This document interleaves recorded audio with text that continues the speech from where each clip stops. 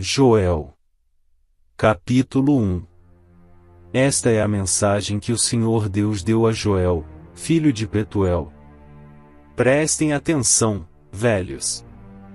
Escute, povo de Judá. Já aconteceu alguma coisa tão terrível como esta? Em nossos dias ou no tempo dos nossos antepassados? Digam aos seus filhos o que aconteceu, que eles contem aos seus filhos, e que estes falem sobre isso. À geração seguinte. Vieram nuvens e mais nuvens de gafanhotos, e comeram todas as plantações. O que os primeiros gafanhotos deixaram foi devorado pelos que vieram depois. Acordem, beberrões. Acordem e chorem, vocês que gostam de vinho pois as uvas foram destruídas, e não haverá vinho novo para beber. Vieram os gafanhotos, como um exército enorme e poderoso, e invadiram o meu país. Os seus dentes eram como os de um leão e afiados como dentes de uma leoa. Destruíram as nossas parreiras e acabaram com as nossas figueiras. Arrancaram as cascas das árvores, deixando os galhos completamente brancos. Chorem como uma jovem vestida de luto, que chora a morte do seu noivo. Os sacerdotes, os servos de Deus, choram no templo do Senhor porque não há mais ofertas de alimento nem de vinho. Os campos estão arrasados, a terra está de luto, pois os cereais foram destruídos, e as parreiras e as oliveiras secaram. Fiquem desesperados, vocês que trabalham nos campos, chorem, vocês que cuidam das parreiras. Pois não há trigo nem cevada. Todas as colheitas foram destruídas. As parreiras e as figueiras secaram, estão secas as romãzeiras, as palmeiras, as macieiras e todas as outras árvores frutíferas. O povo todo está triste. Sacerdotes, vocês que apresentam as ofertas no altar, vistam roupa feita de pano grosseiro e chorem. Servos do meu Deus, venham ao pátio do templo e chorem a noite inteira. Pois na casa do nosso Deus não há mais ofertas de alimento nem de vinho. Convoquem uma reunião no templo e anunciem um dia de jejum reúnam as autoridades e todo o povo de Judá no templo do Senhor, nosso Deus, e orem a Ele pedindo socorro. Ah! Está chegando o dia do Senhor, em que o Todo-Poderoso vai trazer destruição. Será um dia de terror. Sem podermos fazer nada, vimos as nossas plantações serem destruídas no templo do nosso Deus. Não há alegria nem festa. Nos campos secos, as sementes não brotam, não há colheita de trigo, e os depósitos de cereais estão caindo aos pedaços. O gado está mugindo de fome, e os bois andam tontos de um lado para o outro porque não há pasto. As ovelhas também estão morrendo. Eu clamo a ti, Ó Senhor! As árvores e os pastos estão secos, como se um fogo tivesse queimado. Tudo. Até os animais selvagens pedem socorro a ti porque os rios secaram, e por toda parte a seca acabou. Com o capim. Joel. Capítulo 2 Toquem as cornetas no Monte Sião, deem um grito de alarme no Monte de Deus trema de medo. Povo de Judá, pois está chegando o dia do Senhor. Será um dia de escuridão e trevas, um dia de nuvens negras. Os gafanhotos avançam como um exército enorme e poderoso, como uma nuvem escura que cobre as montanhas. Nunca houve uma coisa assim no passado e no futuro nunca mais haverá. Eles devoram tudo, como se fossem fogo, como o fogo que queima e destrói. Antes de chegarem, a terra é como um paraíso, mas, depois de passarem, ela parece um deserto. Os gafanhotos acabam. Contudo, eles parecem cavalos e correm como cavalos de guerra. Vêm saltando no alto das montanhas, fazendo barulho como carros de guerra, como galhos secos. E estalando no fogo. São como um enorme exército posto em ordem de combate. Eles vão avançando, e todo mundo treme, todos ficam pálidos de medo. Eles atacam como soldados valentes, correm, sobem pelos muros e continuam sempre avançando. Marcham em linha reta. E não empurram uns aos outros, pois cada um segue o seu caminho. Marcham sempre em frente, e não há armas que possam fazê-los parar. Eles atacam a cidade, sobem pelas paredes das casas e entram pelas janelas como ladrões. Avançam sem parar, e a terra treme o céu estremece, o sol e a lua se escurecem, e as estrelas deixam de brilhar. À frente do seu exército, o Senhor dá ordens em alta voz. O exército é enorme, e os soldados são valentes. Como é terrível o dia do Senhor! Quem poderá suportá-lo? O Senhor Deus diz: Mas agora voltem para mim com todo o coração, jejuando, chorando e se lamentando. Em sinal de arrependimento, não rasguem as roupas, mas sim o coração. Voltem para o Senhor. Nosso Deus, pois Ele é bondoso e misericordioso, é paciente e muito amoroso e está sempre pronto a mudar de ideia e não castigar.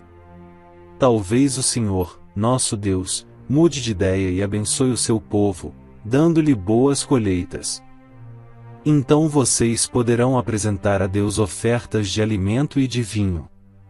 Toquem as trombetas no Monte Sião. Anunciem um dia santo de jejum e convoquem o povo para se reunir no templo. Reúnam todo o povo e mandem que eles se purifiquem. Que venham todos, velhos e crianças e até as criancinhas de peito. Que os recém-casados saiam de casa e venham ao templo também. E vocês, sacerdotes, que no pátio do templo servem a Deus, o Senhor, chorem e façam esta oração: ó Deus, não castigues o teu povo, não nos humilhes diante dos outros povos para que eles não caçoem de nós e perguntem: onde está o Deus de vocês? Então o Senhor mostrou o seu grande amor para com a sua terra e teve pena do seu povo. E respondeu: Agora, vou lhes dar cereais, vinho e azeite, assim vocês comerão e ficarão satisfeitos. Nunca mais deixarei que os outros povos caçoem de vocês. Enxotarei para longe de vocês a praga de gafanhotos que vem do norte e os jogarei no deserto. Os gafanhotos que vêm na frente serão jogados no mar morto, e os que vêm atrás cairão no mar Mediterrâneo. Os gafanhotos mortos, aos montões, vão apodrecer e cheirar mal e eu vou fazer grandes coisas. Alegrem-se, ó campos, e não tenham medo, pois eu, o Senhor, fiz grandes coisas. Animais selvagens, não fiquem com medo, pois o capim vai ficar verde, as árvores darão frutas, e haverá muito figo e muita uva. Alegrem-se, moradores de Jerusalém, pois eu, o Senhor, o Deus de vocês, fiz grandes coisas. Eu lhes dei chuvas no tempo certo, as do outono e as da primavera, muita chuva, como no passado. A colheita de trigo será boa, e haverá muito vinho e muito azeite. Devolverei tudo o que vocês perderam quando eu mandei as enormes nuvens de gafanhotos, que, como exércitos, destruíram as colheitas. Vocês terão comida até não querer mais e louvarão o Senhor, seu Deus, que derramou tantas bênçãos sobre vocês. E o meu povo nunca mais será humilhado. Vocês ficarão sabendo que eu estou com vocês, saberão que eu, o Senhor, sou o seu Deus e que não há nenhum outro Deus. E o meu povo nunca mais será humilhado. O Senhor diz ao seu povo: depois disso, eu derramarei o meu espírito sobre todas as pessoas. Os filhos e as filhas de vocês anunciarão a minha mensagem, os velhos sonharão, e os moços terão visões. Até sobre os escravos e as escravas eu derramarei o meu espírito naqueles dias.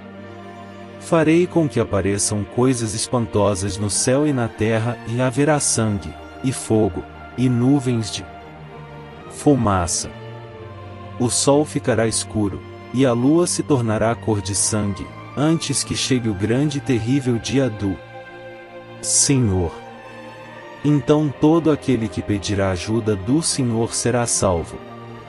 Pois o Senhor prometeu que todos os que não tiverem sido destruídos estarão no Monte Sião, em Jerusalém. Aqueles que o Senhor escolheu serão salvos. Capítulo 3 O Senhor Deus diz: Naquele tempo, farei com que o povo de Jerusalém e de Judá prospere de novo.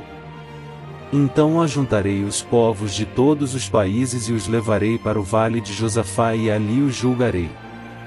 Eu farei isso por causa das maldades que praticaram contra o povo de Israel, o meu povo escolhido espalharam os israelitas por vários países e dividiram entre si o meu país. Tiraram a sorte para ver quem ficava com os prisioneiros do meu povo, venderam meninos, meninas como escravos e gastaram o dinheiro com prostitutas e com vinho. Povos de Tiro e de Sidom e de toda a Filisteia, o que é que vocês querem de mim? Estão querendo se vingar? Se é isso que querem, então eu também estou pronto para me vingar de vocês. Pois vocês roubaram a minha prata e o meu ouro e puseram toda essa riqueza nos seus templos. Vocês levaram o povo de Judá e os moradores de Jerusalém para longe das suas terras e os venderam como escravos aos gregos. Eu vou trazer o meu povo de volta daqueles lugares distantes e farei com vocês o mesmo que vocês fizeram com eles. Farei com que os filhos e as filhas de vocês sejam vendidos como escravos ao povo de Judá, que os venderá aos sabeus, povo de um país que fica muito longe daqui. Sou eu, o Senhor, quem está falando.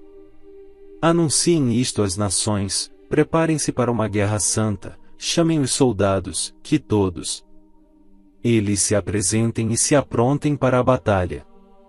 Transformem os seus arados em espadas e das suas foices façam lanças.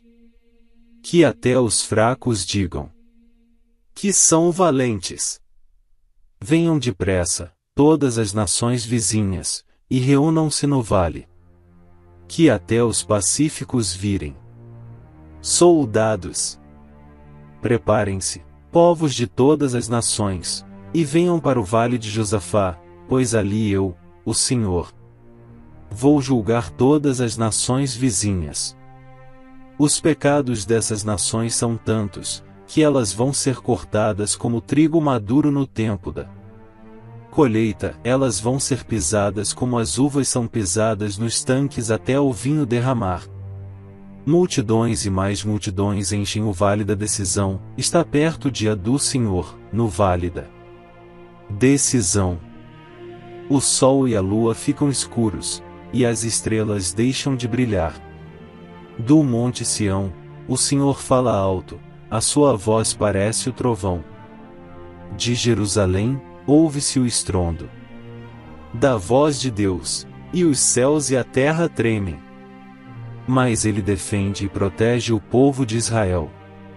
Deus diz ao seu povo: Assim vocês vão ficar sabendo que eu sou o Senhor, o Deus de vocês.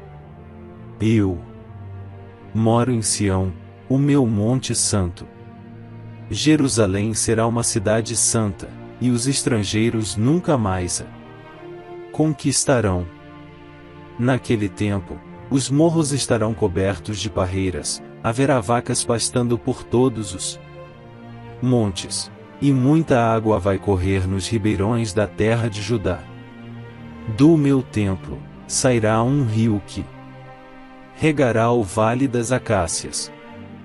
O Egito ficará abandonado, e Edom parecerá um deserto, pois eles invadiram a terra de Judá e mataram pessoas inocentes. Eu vingarei a morte dessas pessoas e castigarei os culpados. Mas sempre haverá gente vivendo em Judá e em Jerusalém, e eu, o Senhor, morarei no Monte Sião